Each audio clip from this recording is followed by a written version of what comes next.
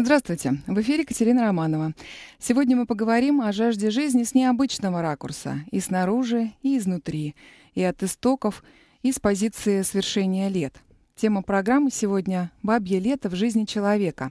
Большие надежды и маленькие движения навстречу поколений».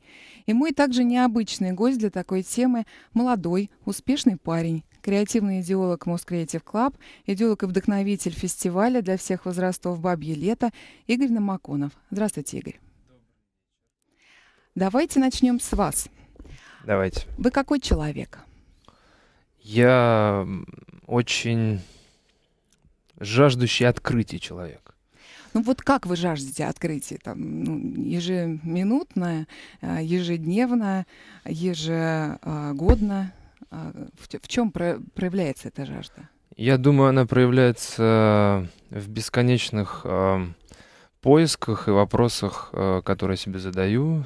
Связаны они с тем, э, какое место я занимаю в этой жизни, какие процессы вокруг меня происходят, с чем они связаны, как я могу на них повлиять. Мне безумно интересно э, смотреть э, на то, что происходит вокруг меня, и оценивать, отслеживать те процессы, которые мне нравятся, в которых хочу участвовать, и процессы, которые мне, э, ну что ли, доставляют некий дискомфорт, и с которым я хотел бы э, разобраться в позитивном смысле, добавить им какого-то нового смысла, добавить им какого-то нового уровня развития, то есть то, что я могу сделать с этим миром, повлиять на него. Вот это, наверное, такой поиск. Но я немножко окунусь в вашу биографию для того, чтобы нашим слушателям было понятно, что вы за человек по вашим регалиям. Все-таки в нашем обществе существует такая форма восприятия человека. Да. И вот что я нашла о вас в интернете. Глобальная сеть рассказывает, что вы занимаетесь рекламной индустрией а, с 2000 года. Угу. Придя в это сообщество, вы добились очень быстрых успехов. А, вы работали а, с такими клиентами, как Microsoft, Mercedes, Beeline, Lukoil, mm-hmm. что-то для них креативили. Но кроме этого у вас э, был проект, э, в котором вы выступали в качестве продюсера. Это «Осторожно, злая собака Озон», которая получила Канского льва. Да, а, все верно. А в 2008 году, набравшись, видимо, за э, эти продолжительные 8 креативных лет вашей жизни э, в IQ маркетинг, правильно я понимаю? Mm-hmm. Вы, Был а, такой. Да, вы открыли собственное агентство вместе с партнером Евгением Шуршиковым, а, и там до сих пор работаете, mm-hmm. это Most Creative Club, mm-hmm. так? Да. А что было интересно в этом агентстве? А, это крупные компании, которые а, использовали передовые технологии вовлечения аудитории. Вот что это такое за передовые технологии вовлечения аудитории? Очень коротко расскажите нам. Коротко, если говорить о предыдущем опыте с 2000-го, то попадание в рекламную индустрию произошло совершенно не случайно, наверное, потому что активно шел процесс э, а, потребления в нашей стране. Это все нуждалось в моторике, нуждалось в огром, огромном количестве кадров, которые бы были задействованы в этой индустрии. И меня из журналистики туда перетащили достаточно а, быстро, потому что там просто были деньги больше. А дальше начался процесс, э, связанный все-таки самоопределением. А, деньги деньгами, но делать надо то, что приносит э, удовольствие, как минимум, как максимум смысл и пользу и тогда, собственно, начались э, вот эти вот передвижения поиски того, где это можно делать. И агентство, в которое я попал, э, собственно, наиболее э, этому отражало, поскольку достаточно новый был подход. Ну, если не вдаваться в подробности, то все так на поверхности коснуться бизнес-среды в рекламе, то есть компании, которые на постоянной основе занимаются длинным таким а, рутинным обслуживанием, а есть компании, которые ищут постоянно какие-то новые свершения, открытия, занимаются разовыми проектами, которые доставляют безумный дискомфорт, потому что они сложно продаются, сложно делаются, но они все делаются такими, такими невероятными, что, конечно же, после этого безумное вдохновение приходит. И вот, собственно, в таком агентстве я и оказался, а именно поэтому оно и получило «Золотых львов» а, первым в России. И дальше уже просто не остановиться было, потому что один раз э, встав на какую-то тропочку, пройдя по ней длинный путь, э, становится понятно, что нужно идти дальше, иначе возвращаться будет совершенно еще груз грустнее. И, собственно, то, что происходило дальше, это поиск своего места уже как самостоятельный предприниматель. Здесь как раз и появилась новая компания а, Most Creative Club, и с ней мы уже как раз как руководители создаем эти проекты, которые, на мой взгляд, совершенно по-новому дают э, многим нашим э, клиентам увидеть, что они могут сделать, как они могут по-другому общаться со своими клиентами, потребителями, аудиторией, ну, все по-разному это называют, ну, если совсем уж э, терминами целевой аудитории. Ну, вот уже буквально через два года от старта вашего совместного да. э, собственного проекта э, агентство Most Creative Club вошло в топ-5 лучших креативных агентств России и получило награды э, с фестивалей таких как «Белый квадрат», Киевский международный фестиваль рекламы, uh-huh. Red Apple Mix Идея и так далее. Вот а, как случилось, что в таком а, юном, в общем-то, состоянии для признания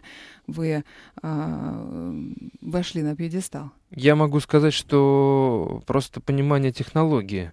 А, в индустрии, да в любом деле есть э, правила а, правила достижения конкретных целей. Вы можете заниматься зарабатыванием денег, вы можете заниматься созданием своего имени, строительством этого имени, вы можете зарабатывать себе рейтинг, можете все это одновременно делать, просто это достаточно сложно. И в рекламе это особенно ярко выражено. Что касается рейтингов и определенных мест, то это часто достаточно четкий высчитываемый процесс, что нужно сделать, чтобы там или на каком-то конкретном месте оказаться. А для этого, конечно же, нужно очень сильно много работать, но, тем не менее, а, определяется все это действие конкретной целью. Целью встать в рейтинг. И в какой-то момент эта цель была, мы ее достигли. Не могу сказать, что эта цель у нас постоянная, именно поэтому мы скачем то в рейтинге, то не в рейтинге. Но при этом неизбежным остается одно. Это как раз те дела, которые мы совершаем. И я, наверное, именно поэтому определяю, собственно, насколько интересно мне это дело или неинтересно. Вот то, чем я сейчас занимаюсь, оно мне потому и интересно, что оно для меня формулируется не рейтингами, а оно формулируется для меня смыслами. И вот эти смыслы, они, конечно же, толкают гораздо сильнее, чем пятое место. Или, ну, и, хотя, ну, хотя... Ну хорошо, и о делах. Давайте, Давайте поговорим да. тогда о конкретном деле. Вот фестиваль, который вы придумали, и который завтра в Нескучном саду в Москве э, возьмет свое начало и должен завершиться каким-то, э, какой-то совокупностью эмоций, э, впечатлений, э, которые должны оставить след. Да. Вот что это за фестиваль «Бабье лето»? Какая идея этого фестиваля? Э, очень большой вопрос. Э, Бабье лето по формату фестиваль-прогулка. Э, удачное сочетание с неделей, на которой объявлен день без автомобилей, но это случилось интуитивно. Тем не менее, мы-то как раз прогулку не против или не вместо автомобилей предлагаем, а мы ее предлагаем как формат совместного досуга для аудитория определенная. И этой аудиторией являемся э, я, вы, э, наши друзья, то есть взрослые люди, у которых есть родители. Э, и весь смысл, наверное, фестиваля выражается в слогане, который мы сформулировали. Звучит он очень просто. Приходите с родителями. Это тема, которая, на мой взгляд, наиболее остро сегодня встает в разных дискуссиях, это то, какая есть культура поведения, взаимодействия со старшим поколением, с теми людьми, которые близки нам а, просто потому что близки по крою, просто потому что они наши родственники, а близки нам потому что мы потому что мы являемся их последователями, и ведь фестиваль направлен именно на создание среды для того, чтобы мы могли бы э, очень комфортно э, и, самое главное, на постоянной основе начать общаться со своими родителями. Это как главная тема, которая определила дальше и формат, и контент, э, собственно, там, набор активностей, которые мы придумали, э, разработали, и, собственно, те там, там миссия, философия, которая впоследствии формулировалась достаточно легко и быстро. Но вот эта миссия философия, она же не возникает на ровном месте. Никогда. То есть, ну, вы что, наелись э, наградами? У вас не хватает э, креатива в рабочей жизни? Или для чего вообще э, этот проект? Что вы хотите им сказать? Зачем это вам? Есть у меня одна хорошая знакомая, которая сказала, что любое дело, любой проект — это всегда человек. И я думаю, что в этом э, проекте точно так же. Э, это очень близкая мне тема очень близкое мне, э, очень близкие мне вопросы, которые я, именно отталкиваясь от своего вечного вопроса, как повлиять на окружение, а, очень эти вопросы во мне возникали, возникают, и они связаны с тем, как я лично общаюсь со своими родителями. какие, как? какие у меня с ними отношения. А, ну, могу сказать, что у меня нету, а, что называется, традиции, культуры постоянного с ними времяпрепровождения.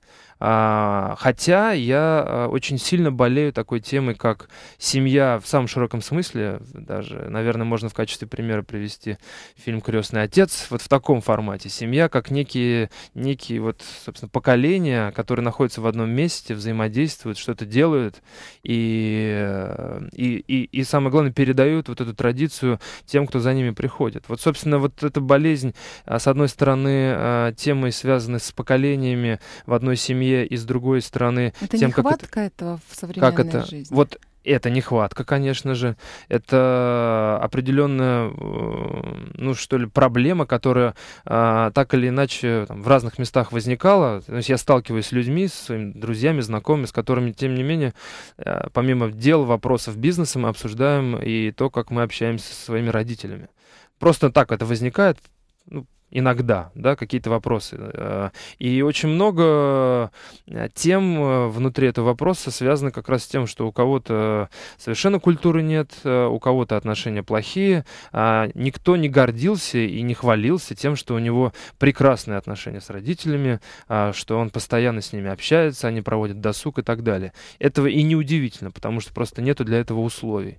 И когда вот это все накапливалось, накапливалось долгое время, потому что этот вопрос, естественно, не возникал в голове моей. Э, не возник он случайно, он накапливался с течением времени. А я как человек, который мыслит проектами, человек, который мыслит а, конкретными делами, я понял, что это можно превратить в полезное, в полезное дело. И нужно сказать, что э, ввиду того, что не существует среды, условий для того, чтобы эти проекты для родителей, для взаимодействия поколений создавались легко, э, вот этот проект создавался совсем непросто, хотя огромное количество партнеров мы нашли очень быстро, поскольку тема близка каждому, с кем бы мы ни заговаривали. Вот это попадание в точку? Я думаю, что это просто тема, которая природой в нас заложена взаимоотношения со своими родителями. Да? Тем, это, это, это то, это те люди, которых мы не выбираем. Совершенно точно. Они нам даются один раз, и дальше вопрос только в том, что мы делаем с ними. Мы с ними находимся в тесном контакте, мы с ними э, совершенно не в контакте, и мы живем порознь.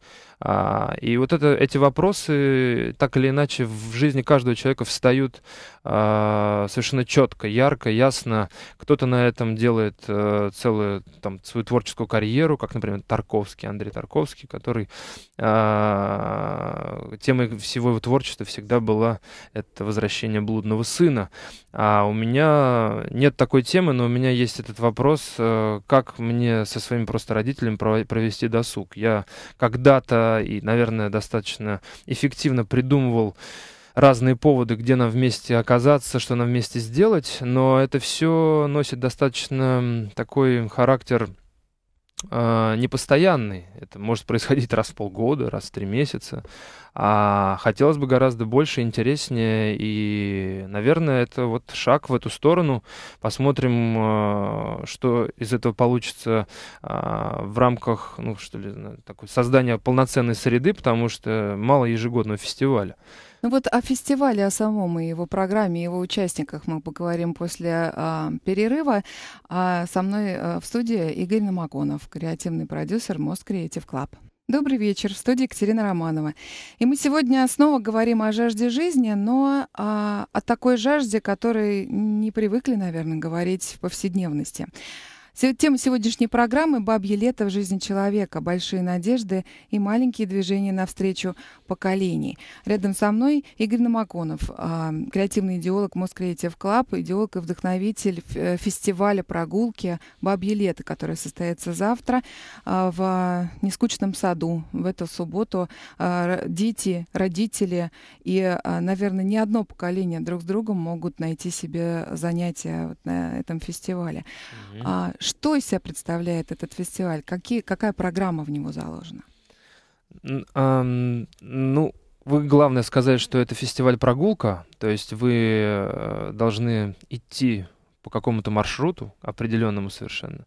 И по ходу этого маршрута вам будут встречаться различные активности. Ну вот если мы начнем эту прогулку вот так вот в эфире, uh-huh. то если вы будете заходить с Ленинского проспекта, то вы попадете сразу а, на территорию ретро-автомобилей. Выставка, которая позволит вам а, погрузиться в атмосферу а, автомобилей разных времен, и это своего рода тоже образ, э, тема, которая очень четко... Те самые мостики между поколениями. Мостики между поколениями, определенная культура, которая теряется, потому что на улицах мы видим только современный дизайн. А, есть достаточно четкие различные зоны, в которых размещены активности, э, позволяющие вовлечься разным поколениям. И от 20 до 50, и от 50 до бесконечности. А, нужно сказать, что это первый фестиваль после реконструкции в Нескучном саду, поэтому мы активно задействуем все существующие там площадки. Это библиотека, а, это шахматный домик прекрасный нового дизайна, это ротонда 800-летия э, Москвы. Все они выглядят прекрасно, они все находятся в невероятной зеленой зоне. Нужно сказать, что Нескучный сад — это природоохранная территория, поэтому а, создать и устроить там активности в рамках фестиваля было достаточно сложно, поскольку ничего нельзя не строить, не втыкать в землю. Не трогать вообще. Не трогать. А, все там деревья исключительно обматываются, ничего к ним не прибивается. Поэтому это тот редкий случай, когда вы находитесь вместе исключительно с заботой об окружающей среде. Поэтому там э, энергетика, атмосфера исключительно позитивная, и вот в этой атмосфере в шахматном павильоне удастся с 12 часов часов до 7 часов вечера, с 12 до 19, послушать массу различных интересных тем, связанных с а, поколениями, связанных с возрастами различными. Начнем мы с лекции про доступный интернет для старшего поколения. Достаточно интересная тема, то есть интернет, который наверное, будет полезно интернет как тема, которую, естественно, будет удобно, э, если вы будете без родителей, передать впоследствии своим родителям, чтобы они не боялись больше этого. А если вы с родителями, то прямо на месте получите брошюру и получить достаточно четкие рекомендации от Гугла, а, как дальше себя вести. Без э, сына. Не звонить ему, не спрашивать, на какую кнопку нажать. Не узнавать, э, как вбить логин или пароль в почте. Там все это объяснено. Это лишает, решает достаточно много вопросов, которые возникают периодически а, у детей и родителей. А, у нас будет достаточно большой блок, связан он с а, возрастом счастья. Это проект Владимира Яковлева, и он будет читать свой прекрасный семинар про то, как жить в радости во все возраста. Его... И вот у нас есть как раз его комментарий, он сам может представить свой блог. О, прекрасно. Владимир. Идея того, что жизнь после 50, после 60, после 70 заканчивается, это абсолютно неправда. Это стереотип, который уже сегодня совершенно не соответствует реальности. После 50 начинается прекрасный наверное, лучший в жизни человека период. Вполне может быть достаточно энергии для того, чтобы этот опыт применить и стать жизни счастливым. Поэтому жизнь после 50 и после 60 активная, яркая, она не просто возможна, она возможна по качеству намного выше, чем она была до этого. Жить дальше и меняться, и развиваться. И те люди, которые это делают, они действительно проживают после 50, 30, 40, 50 лет очень ярко, очень активно, очень полной жизнью. Вот такое мнение. И, в общем-то, об этом пойдет лекция. А, Семинар в Яковлево именно об этом. Но это безумно интересно слушать э, любому человеку в любом возрасте, потому что а, так или иначе нас всех ждет а, высокий возраст, так я называю теперь людей после 50, люди высокого возраста. А, нас ждет этот возраст, и нам нужно понимать, что там, собственно, происходит, как там нужно себя вести, поскольку есть достаточно четкий набор стереотипов. Это ну, такие совершенно четкие, ясные известные образы, как генетическая старость, пенсия и так далее. А есть такие, как, э, собственно, Владимир Яковлев заложил в своем проекте. Это радость, счастье, самоопределение, новый виток развития. И вот как это все происходит, как к этому прийти, с каким сознанием нужно быть, с какой мотивацией, что вообще нужно себе сказать, что сделать, вот он расскажет, и самое главное, расскажет это не э, образно, а на конкретных примерах, потому что его тема возникла э, именно потому, что он сам переступил этот порог 50 лет, и он задался вопросом, а что теперь? Да, несмотря на свою успешную достаточно карьеру, достаточно а, успешный путь э, в журналистике, а, как человек, он все ну, равно... Для тех, кто не знает, я добавлю, что Владимир Яковлев — это основатель издательского дома «Коммерсант», это основатель СНОБа и э, многих других проектов, в которых он проявлялся как журналист и организатор. А вот возраст счастья это такой э, противоположный его проект, в котором он как раз пытается разобраться в сути поколений. Да, и он отправился после 50 путешествовать по миру. А, имея такую возможность, он посетил достаточно много стран, где встречался с людьми исключительно за 50, за 60, э, до 100 и выше даже, 100 то есть 102, 104 года. И со всеми этими людьми он вступал в контакт, задавал им вопросы, в результате получил достаточно интересную выборку героев, а, у которых а, есть совершенно четкие правила поведения в жизни. И эти правила им обеспечили а, совершенно новый виток развития.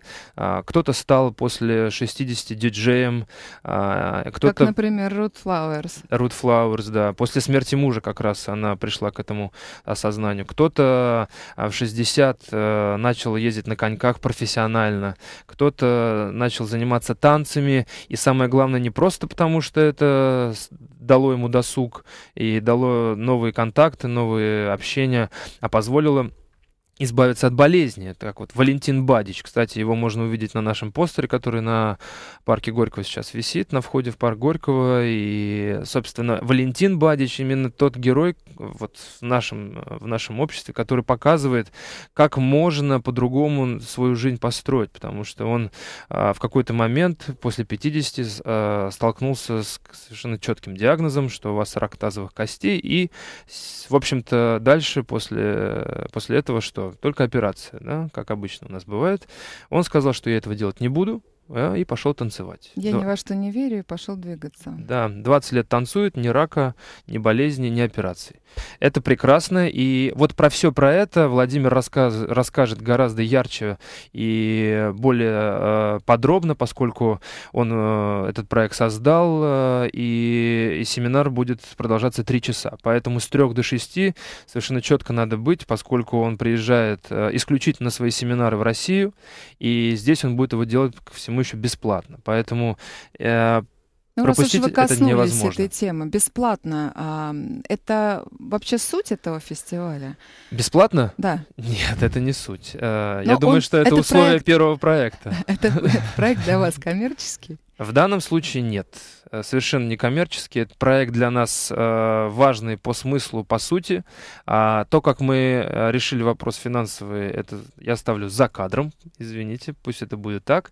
Для нас сегодня самое главное, чтобы он состоялся, потому что э, он задает совершенно новую тему. В обществе он создает прецедент, и его нужно развивать. Мы благодарны, что есть такой проект, как мы уже говорили, «Возраст счастья», поскольку он родил героев, а, и я думаю, что он для нас являлся в некотором смысле вдохновением. Есть, э, собственно, вот возраст счастья, есть бабье лето, и мы все на разных территориях направлены на то, чтобы укреплять связь и создавать совершенно новые смыслы, которые находятся за пределами вот сегодня у молодого поколения, вот там за 50, за 60, что там происходит, как с этими людьми общаться, о чем они думают. И нам, как так, вот нам, как фестивалю, как раз интересно вот эту связь создавать и думать о том, что, собственно, мы позволим а, себе в первую очередь, потому что, как я сказал, любой проект э, диктуется теми, кто его делает, и теми, кто рядом с нами такими же мыслями, с такими же вопросами, улучшить а, повысить качество отношений со своим старшим поколением. Вот вы подошли как раз к такому моменту, когда мне хотелось бы а, более подробно у вас а, выяснить, наверное. Вот восприятие общества в данном случае, оно помогает вам или его нет а, в этой теме? Нет восприятием общества людей а, в возрасте как людей, а, которые могут э, делать то, чего не принимает общество? Что-то а, для самовыражения, что-то отличное от других? А, ну, если я правильно понял, а, сейчас тему, которую вы хотите затронуть, это, это что, именно... про, что происходит э, сейчас и мешает это или помогает нам создавать фестиваль, создавать среду? Да, потому что мало собрать на фестиваль э, семьи. Э, насколько я понимаю, вы этим фестивалем хотите рассказать людям э, о той важности этого взаимодействия, о той э, важности да. восприятия общества таких людей. Ведь не просто там люди и кейсы, вот такие примеры, вот такие люди, которые вылечили себя, которые марафоны бегают в нежном возрасте да. Э, под 100, а, э, что-то, а, продуцируют, какие-то идеи, а, какие-то проекты реализовывают. Да? Это же не просто для того, чтобы показать этих людей, вот они есть, посмотрите на них.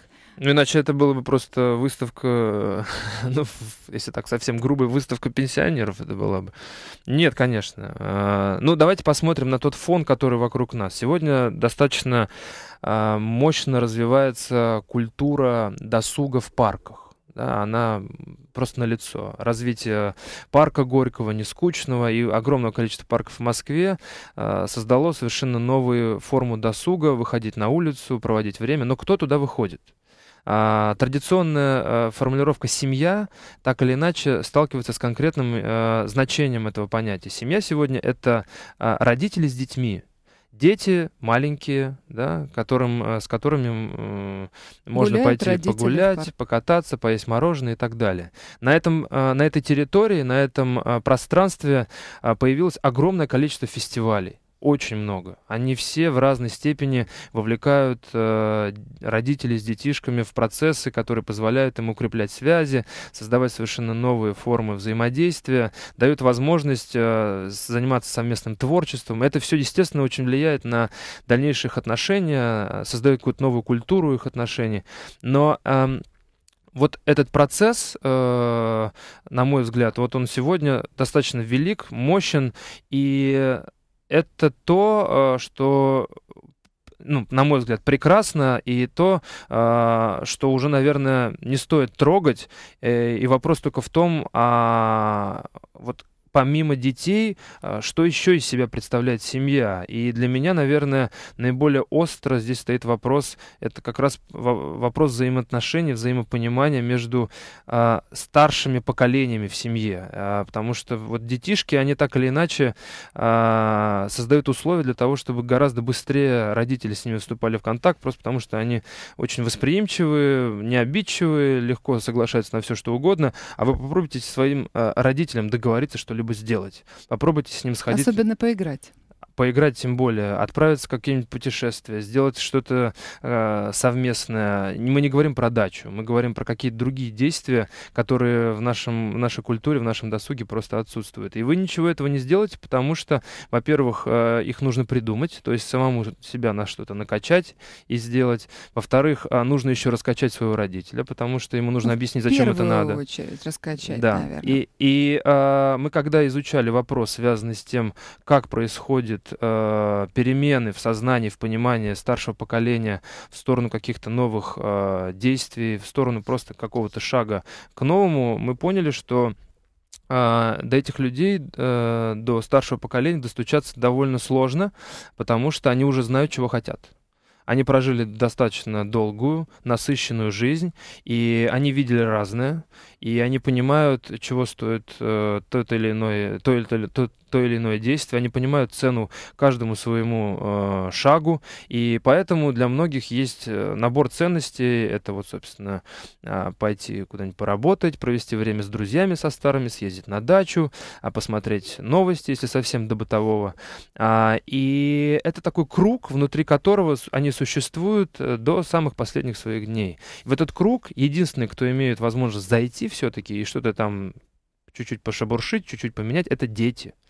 А, но это дети не те маленькие, которые, собственно, сегодня... Не внуки. Не внуки, да. А это те дети, которые, вот, собственно, вот следующее поколение а, вниз. И э, вопрос только в том, что эти дети делают это или не делают. Поэтому э, мы в рамках фестиваля исключительно ориентируемся на то, чтобы именно дети заинтересовались в том, чтобы прийти со своими родителями. Родители, к сожалению, а, очень ну, э, скажем так, э, с классическим видением досуга. И в этом смысле дети гораздо более подвижные, гораздо с большим удовольствием ходят на фестивали, на различные э, мероприятия. И вопрос только в том, чтобы эти дети поняли, зачем им и их родителям это нужно. И вот этот вопрос как раз весь у нас отражается в фестивале, в контенте фестиваля. Мы можем, кстати, еще чуть-чуть рассказать, что там будет происходить. Мы э, будем э, с самого, там, с 12 часов с самого начала фестиваля а, проводить танцевальный марафон. Каждый час у нас будет мастер-класс от рокобилов. Это безумно увлекательно, потому что это джайв, рок-н-ролл, это все ярко, весело, в костюмах. А, плюс ко всему, лучшие танцоры, самые яркие, самые выносливые будут получать каждый, каждый час у нас подарки. Специально в рамках фестиваля на танцевальной площадке у нас будет презентация первого нового альбома. Называется он «Мелодия парка Горького». Мы его вместе со студией «Мелодия» будем презентовать. И он был записан э, вот, вот буквально несколько недель назад. И это, по сути, его презентация. Здесь можно будет точно так же его получить. Это безумно яркие, интересные композиции разных времен. И они создадут эту незабываемую атмосферу, энергетику, тему, которая останется с людьми надолго. Есть возможность совместно провести игры да, ведь поиграть тоже можно старшим поколением очень интересно и эффективно. На какие это а, Была такая штука, называлась она на электронике «Волк и яйца». Может быть, помните? Безумно да, увлекательная советская штука. увлекательная игра. Да, вот она у нас есть в офлайн формате, а, в виде огромной инсталляции, где курочки и яички можно потрогать. И самое главное, что на место того, кто запускает яйца, может стать родитель, на место того, кто эти яйца ловит, может стать взрослый ребенок ребенок, сын или дочь, и эти яйца попытаться То есть поймать. это семейная игра? Это семейная игра. Есть прекрасная игра, она безумно раскрывает весь потенциал, который есть в каждом. Она называется «Оралки». Мы ее называем, еще так позиционируем, э, формулируем как игру, в которой можно покричать без последствий, при том на родителя. А, поскольку вы орете не на, не на родителя, а вы орете, орете с родителем, и кто громче кричит, тот, собственно, имеет возможность а, получить больше баллов. Это тоже безумно увлекательная интерактивная штука. Ну, для тех, кто помнит или хотел бы вспомнить, какие из себя игровые автоматы прошлого, мы привозим из Музея советских игровых автоматов прямо на аллею в нескучный сад а, несколько таких автоматов. Можно будет точно так же насладиться вот этим этим вот двухмерным изображением и прекрасными э, интерактивами прямо под свисающими на вас листвой. Что еще можно будет сделать на фестивале прогулки «Бабье лето», мы узнаем через пару минут. А рядом со мной Игорь Намаконов, идеолог и э, родитель этого фестиваля. Добрый вечер. В студии Екатерина Романова и Игорь Намаконов. Э, Игорь – идеолог и э, создатель фестиваля прогулки «Бабье лето», о котором мы сегодня и рассказываем. И э, важная часть э, этого рассказа состоит в том, что Пожалуй, только с годами понимаешь, какую ценность имеют взаимоотношения поколений в семье и насколько важно дорожить каждой минутой, проведенной вместе, пока есть на это время. Об этом и с этой идеологией мы говорим с Игорем про мероприятие, которое э, состоится завтра в Нескучном саду. Mm-hmm. И это фестиваль «Бабье лето». Вот мы поговорили о том, что там будет э, лекции, о том, что там будут э, разные интерактивные возможности в качестве игр, в качестве э, танцевальных каких-то движений, знакомство с, ну, с музыкальным контентом. Что еще э, вы заложили в программу фестиваля?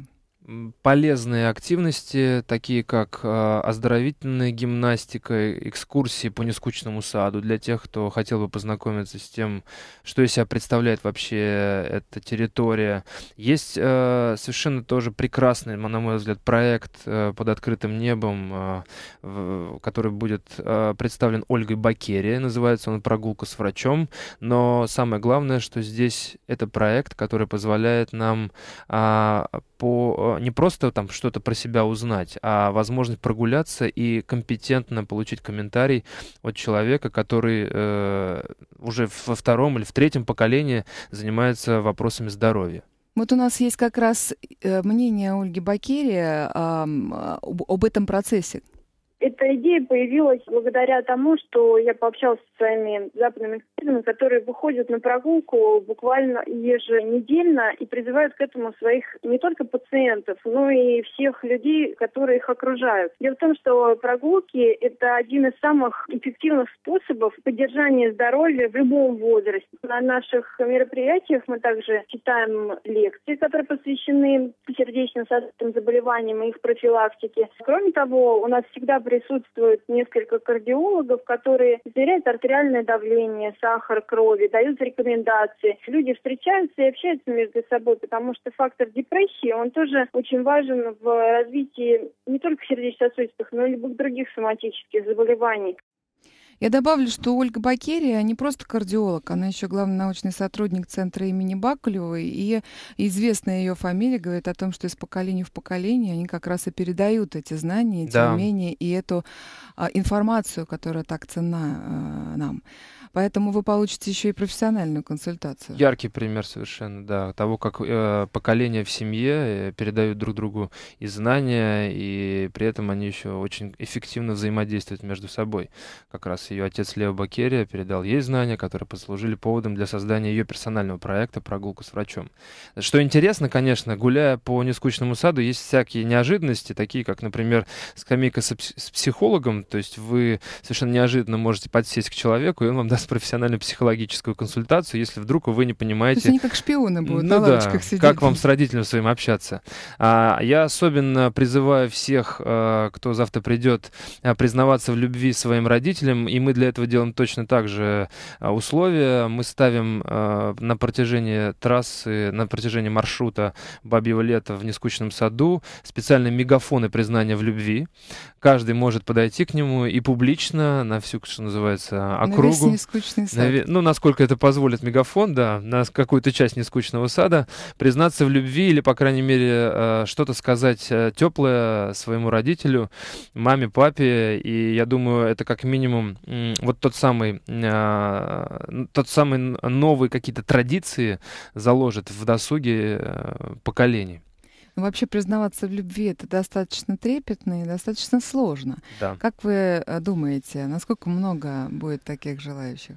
Я думаю, что я думаю, что если хотя бы один признается, это уже будет э, Успех. большое дело, потому что тот, кто признается, конечно, завершает большой шаг, но он ведь э, ко всему еще дает пример. И э, это ведь тоже важный момент, кто смотрит, кто слышит, э, потому что дойти, подойти к этому действию это один момент, а вот э, просто оказаться на территории, на которой в принципе это происходит, э, это другой. И мне кажется, вот именно примером своим мы будем заражать всех, кто туда будет приходить. Ну, я хочу немного помочь вам в этом действии. Радиостанция Финам ФМ, поскольку мы являемся информационным партнером вашего фестиваля. Спасибо вам за это. Мы хотим, чтобы эти признания прозвучали и в эфире, также еще на дополнительную аудиторию, которая поможет вам эту идеологию развивать э, в нашем сообществе. И э, если таковые люди у нас появятся на территории нескучного сада, то э, кто-то из них, может быть, э, все появится и в эфире радиостанции. Да, признавайтесь любви креативно, и вы попадете на Финам Это правда. Итак, а что же все-таки родители? Почему именно родители стали э, идейной э, задачей? Почему именно э, через наш возраст, через средний возраст, через поколение, которое может выстроить это взаимодействие, вы решили достучаться до э, возраста счастья? А, ну, я говорил о том, что наши родители а, старшее поколение живут э, по несколько другим законам, по несколько другим правилам. Это не мои домыслы, доводы. Это результат долгих действий, общения с психологами, общения с а, людьми, которые занимаются стратегиями, изучением аудиторий. А, мы э, пришли к выводу, что совершенно четкому осознанию, что старшее поколение живет, как я сказал, внутри определенного круга, который они сформировали благодаря существующим у них знаниям. И этот круг э, это как стена, внутри которой они чувствуют себя комфортно и безумно неудобно им выходить за территорию этой стены. Э, я думаю, каждый, у кого есть э, родитель, которому 60-70, прекрасно это понимает. Э, например, когда он им звонит своим родителям и предлагает прямо здесь и сейчас сорваться куда-нибудь, поехать, что-нибудь вместе поделать.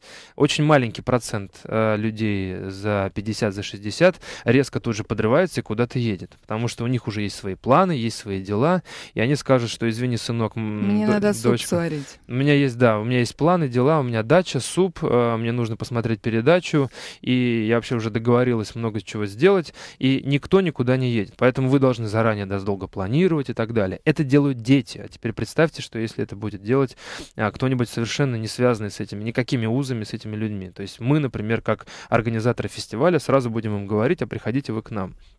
Я думаю, что мы должны сформировать достаточно такой мощный авторитет э, фестивалю и создать полноценную среду, чтобы время за нас говорило, что мы не на один день пришли, а мы действительно занимаемся развитием отношений, чтобы нам это поколение поверило. Вот до тех пор, пока это не случилось, мы будем к ним стучаться через их детей, которые гораздо гибче, веселее, быстрее реагируют на изменения. И, конечно же, они очень сильно заинтересованы в том, чтобы их родители развивались и проводили время а, качественно, потому что... Но ведь их... еще очень важный аспект, то, что эти родители, они а, воспринимают себя, человека, как самого себя, воспринимают уже в некоторых стереотипах, которые формируются в нашей стране. Да. Ведь как... Вы говорите про пенсию? Я говорю про пенсию, я говорю э, про тех, кому за 60, куда уж там за 45 трудоустроиться на работу уже становится сложно. Да.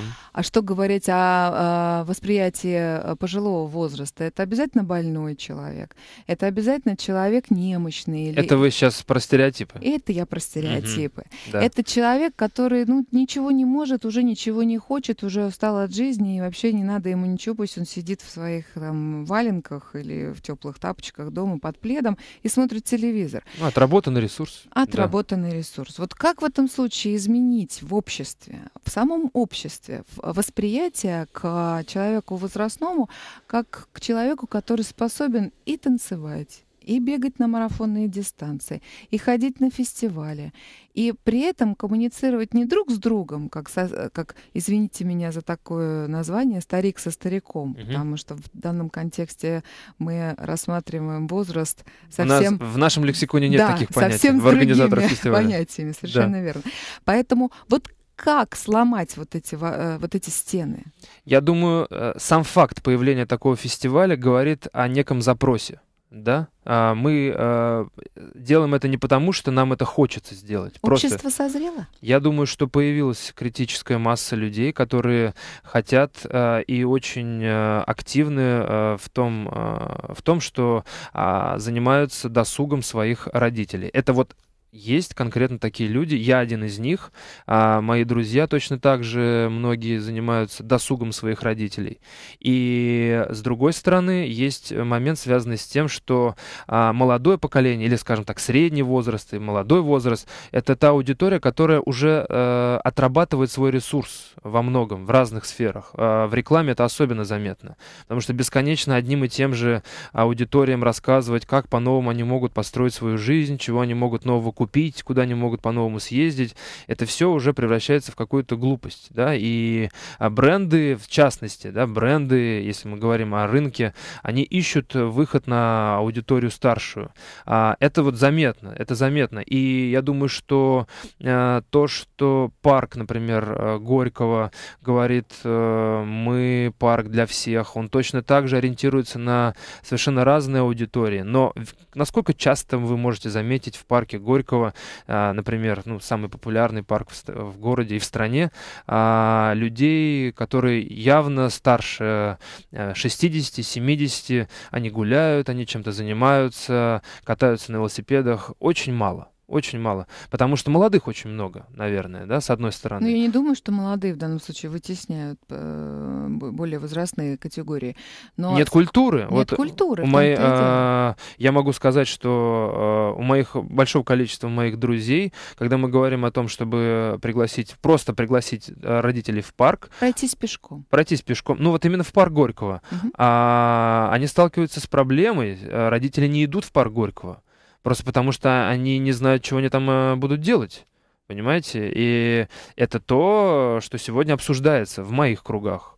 А, то, что я слышу в очередях. Я думаю, что вот растет эта критическая масса. И так или иначе, а, именно запрос общества переломит ситуацию. А, он происходит, не знаю по каким законам, я этим не хочу заниматься, он просто происходит. Да? В какой-то момент люди э, перестали интересоваться э, алкоголем или клубами, им захотелось вместе сидеть в парке, кормить уток, да, и появились парки потому что стало заметно, что людям люди необходимо... собираются. Люди собираются, им хочется а, культурного какого-то досуга. Убрали все эти аттракционы, при том, что когда мы с парком Горького прогуливались по набережной, а, один из, а, а, из дирекции, собственно, с кем мы разговаривали, а, спрашивает меня, а вы помните, когда а, здесь аттракционы стояли? Я говорю, ну, наверное, лет пять назад, шесть. Нет, говорит, два года назад. Окажется, уже так давно. Окажется, что очень давно. Вот это хорошее, оно очень быстро приживается.